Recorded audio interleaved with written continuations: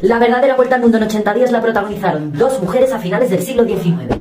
Ellas son Nellie Bly y Elizabeth Bisland y esta es su historia. Nellie Bly era una conocida periodista de investigación que trabajaba para el The New York World de Joseph Pulitzer, a quien retó que ella podía hacer el viaje de Julio Verne sola y batir el récord. Pulitzer no lo dudó ni por un momento, estupenda publicidad para su periódico. Un poco antes del viaje, el editor de Cosmopolitan vio también el filón y envió a su mejor reportera, Elizabeth Bisland, a competir contra Nellie Bly. Las dos mujeres salieron de Nueva York el 14 de noviembre de 1889. Nellie escogió el camino tradicional de la novela de Julio Verne.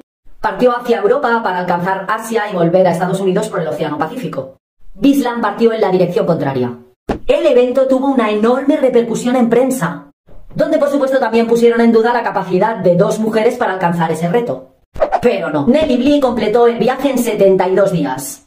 Elizabeth Bisland lo hizo en 76. Ambas batieron el récord ficticio de Phileas